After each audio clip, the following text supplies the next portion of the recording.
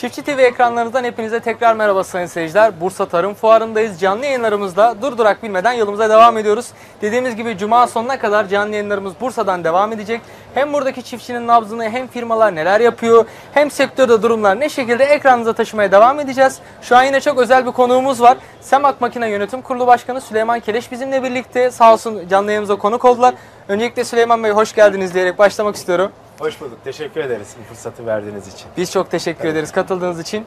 Şimdi e, fuar bugün şansımıza hava da çok güzel. Dün biraz yağmur mis vardı gibi, ama. çok güzel. Mis gibi şu an. Aynen. Evet. E, firmalar çok çalışmalar yapıyor. Ama duyduk ki e, Semak burada biraz daha farklılıklar yaratmış. Daha çok özenmiş mi diyelim, daha çok çiftçiyi mi seviyor diyelim bilmiyoruz ama neler yaptı? Bu fuara neden katıldı? Neler planlıyor stratejik olarak Semak için önemi nedir?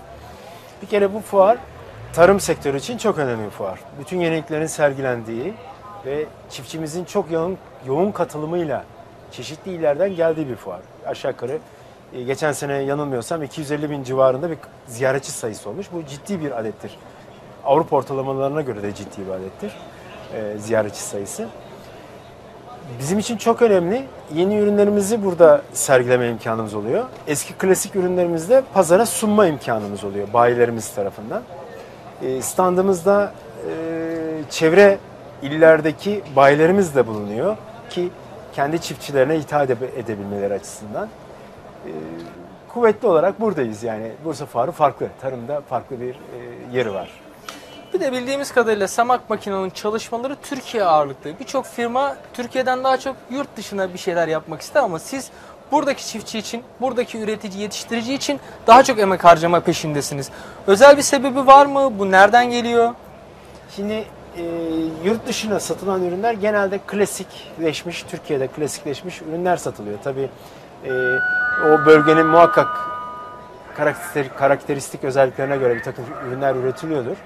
Ancak şunu görüyoruz, tarımı teknolojisini çok geriden takip ediyoruz genelde.